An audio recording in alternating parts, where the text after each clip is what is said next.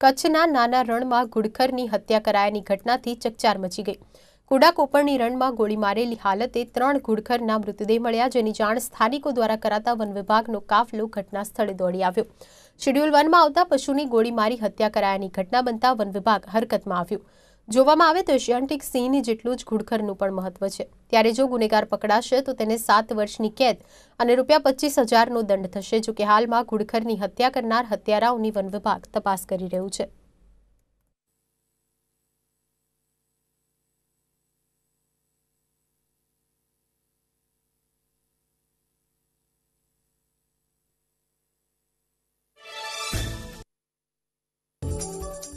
કુડા અને કોપરણીના જે fringe area છે, જે ગુડખર અભયારણ્ય વિસ્તારનો એક ભાગ છે, તેમાં ત્રણ ગુડખરના ડેથ થયેલ છે તેવા સમાચાર મળતા વન વિભાગની ટીમ તથા વેટનરી ડૉક્ટરને સાથે લઈ સ્થળની અમે તાત્કાલિક તપાસ કરેલ છે.